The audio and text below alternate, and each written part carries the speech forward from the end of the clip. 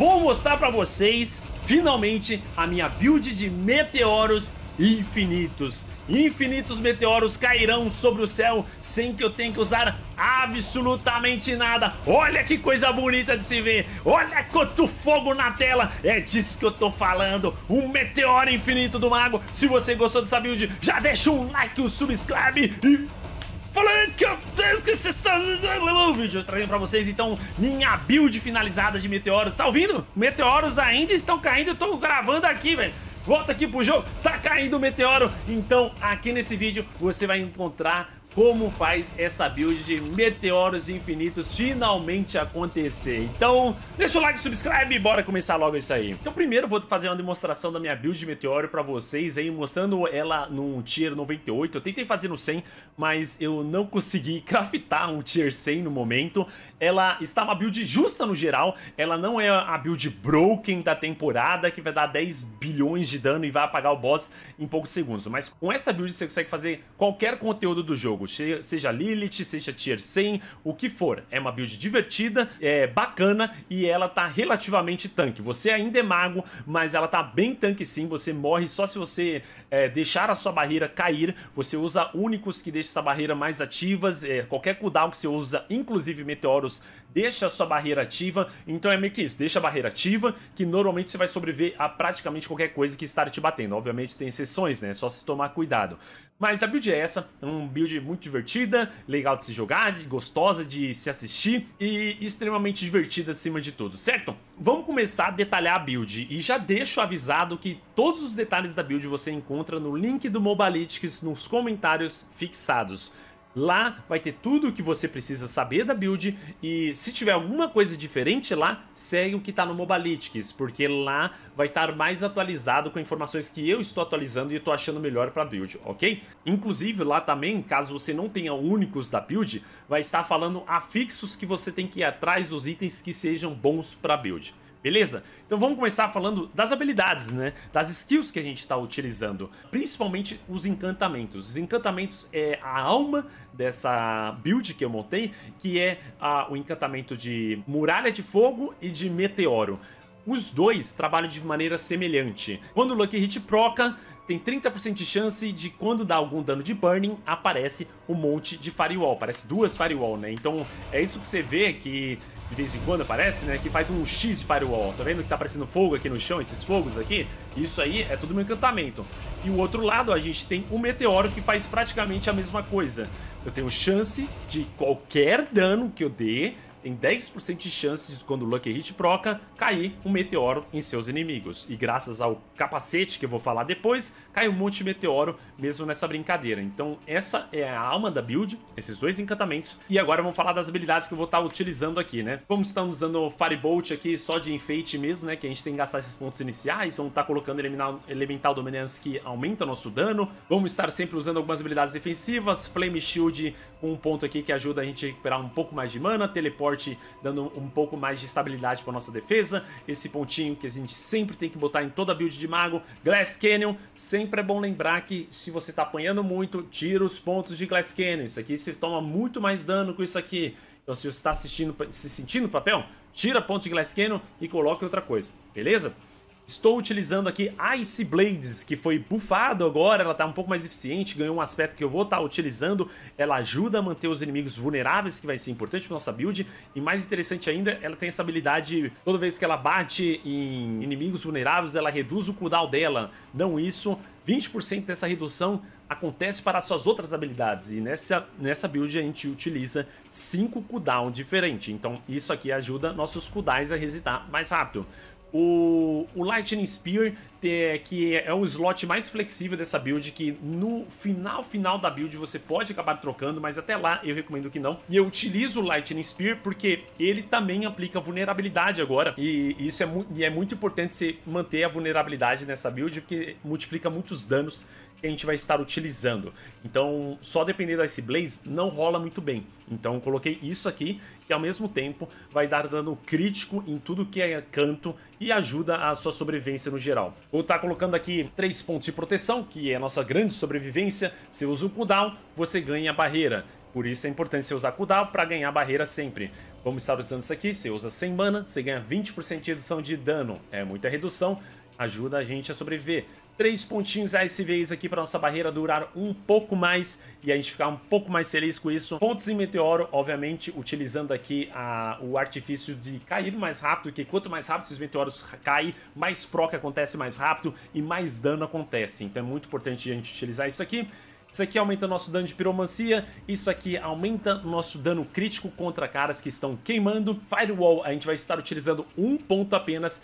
Enquanto você está upando, pode ser bem significativo utilizar 5 pontos em Firewall, então você pode tirar pontos de alguns lugares como é, Ice eu, é o que eu recomendo você tirar, né?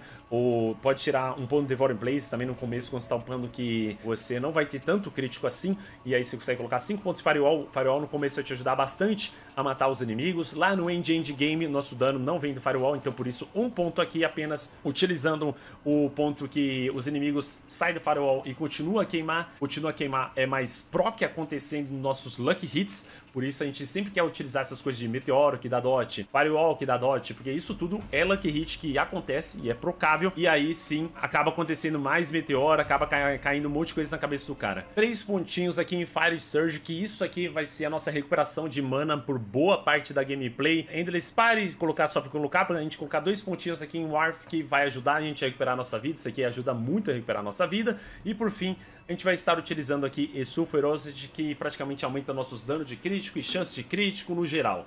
Então, o que a gente utiliza é isso aqui. E a rotação que você quer utilizar normalmente nessa build é bem simples. Você quer lançar meteoro na cabeça do cara, vai entrar em cooldown. Você quer normalmente utilizar essas duas habilidades aqui, porque você vai uh, estar utilizando um item e você se beneficia por usar mais dano de cada dano elemental diferente. Então, por isso você quer usar essas, essas habilidades aqui para ativar esses danos diferentes e você deixar isso sempre trocado. Mas feito isso, é meio que Meteoro, Meteoro, é, Fariol quando possível. A sua barreira caiu, usa algum cooldown, deixa sempre sua barreira ativa, bem importante para sua sobrevivência e praticamente é isso aí, né? Teleporte e Flame Shield para sobreviver e só. Vamos falar dos itens. O capacete é o item mais importante da build. É um item único que você dropa de mobs aleatórios do Tier 4 pra frente.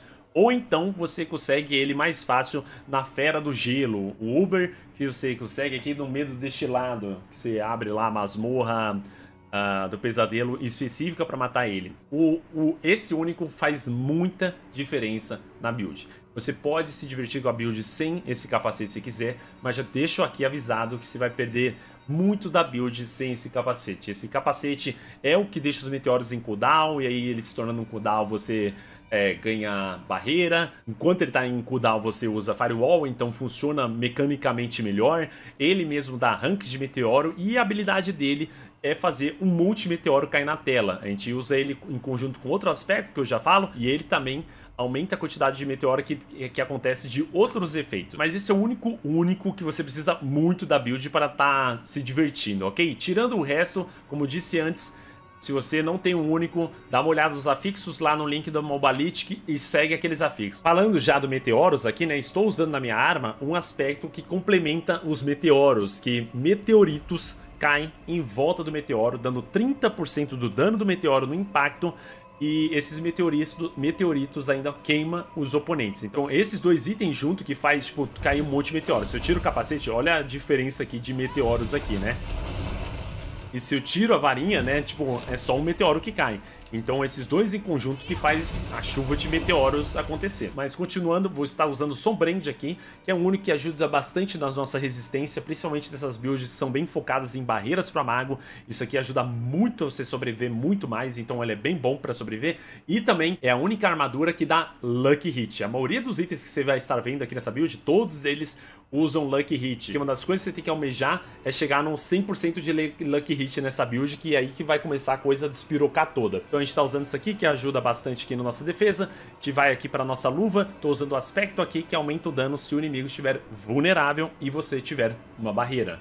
Então, lembra que eu falei que vulnerável vai ser importante? Tá aí, vulnerável sendo importante. Na calça estamos utilizando o aspecto da desobediência, que é o aspecto de armadura, é o melhor aspecto defensivo que tem para mago, disparado, é muito bom, a armadura é incrível para mago, tanto que já fica a recomendação de afixos aí, se você for pegar itens e não tiver os únicos, o melhor aspecto defensivo disparado para mago, que você tem que buscar na armadura, em amuleto, em tudo que é possível, é, é armadura. É total armor. Total armor vai ajudar muito na redução de dano que você toma. Na bota estamos utilizando o Esu Herlun aqui, porque isso aqui aumenta a nossa chance de crítico e deixa o nosso cara bem rápido. E boa parte do nosso dano vem dos nossos críticos. Os nossos críticos são bem altos e dão uns danos bem massivos, por causa das coisas da build. Na offhand estamos usando um novo aspecto de Ice Blades, que agora ela aplica mais fácil vulnerabilidade e eu ganho um multiplicador em, em cima de dano vulnerável. Então, por isso estou usando vulnerável de novo. No amuleto, estamos usando o aspecto mais importante, que é os danos de crítico de meteoro e bola de fogo aumentam em não sei quantos por cento, até 60% no amuleto. E por isso nosso dano de crítico é tão arregaçado. Esse é um multiplicador de dano de crítico. Então, o dano final de crítico toma um multiplicador de 1.6 no final. E isso e esse efeito é dobrado se o cara tá com muita vida. Nos anéis, dois anéis únicos, um deles sendo o Shifal. Esse Shifal é insano para qualquer mago de fogo, qualquer build de fogo de mago se utiliza isso, porque esse daninho aqui, que parece 40 mil, é o dano responsável, que fica aparecendo aqui de vez em quando, uns 1 milhão aqui na tela. É ele que faz isso acontecer, né? É difícil enxergar aqui, né? Mas de vez em quando aparece uns 1 milhão por aí, 1 milhão e 500, esse aí é tudo do anel. É uma explosão extra que o anel faz e essa explosão extra é um Lucky Hit que proca mais e dá mais dano e mais meteoro e mais Fireball, ativa tudo. E, e, dá esse dano extra. Então, um anel que dá muito dano e os afixos no geral são ótimos dele, tirando o Damage Overtime que não serviria pra gente. Depois a gente tá usando Talhash. Talhash é outro anel com os afixos incrível pra gente e essa habilidade aqui aumenta 45% de dano multiplicativo no nosso praticamente, porque se a gente utiliza um elemento de cada dano, ele vai ganhando 15% de multiplicador, até para três diferentes, né? Que a gente vai estar utilizando gelo e elétrico. O Lightning Spear ajuda a procar isso, mas você pode usar teleporte para procar isso também, que teleporte também dá dano. Então você usa teleporte, o Ice Blades, e aí já tá beleza. Comentando as gemas rapidamente, né?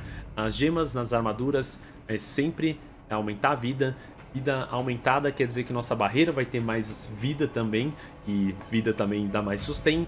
Algumas pessoas podem se perguntar por que não usar a gema que aumenta a quantidade de barreira para mago, porque faz sentido, né? Mas matematicamente é melhor usar a de vida. Então segue isso.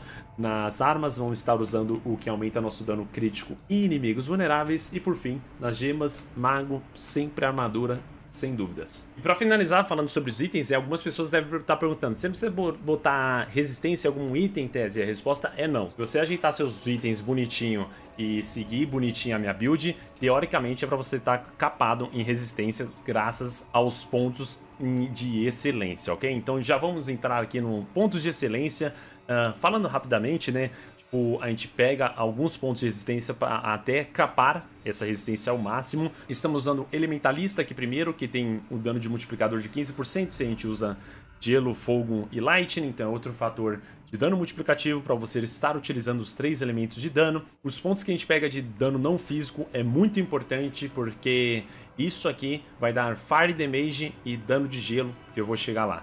Só lembre-se disso. Aqui desse lado a gente começa pegando aqui o Burning Instinct, que foi bufado, o tabuleiro dele no caso. Não pego ele no caso, que a build não é focada em queimar, e sim em dano direto. Estamos colocando um pontinho aqui de Adepto, que aumenta a área das nossas Masters, isso é o Firewall e o Meteor, que faz ter mais área, mais acerto, mais proc, aquela história toda.